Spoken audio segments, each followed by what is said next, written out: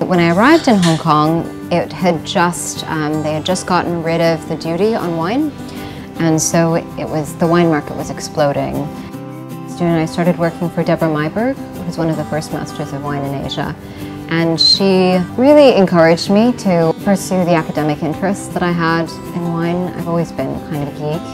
And um, the idea of there being this academic qualification out there related to my industry that I didn't have was um, completely unthinkable, so I need to go after it.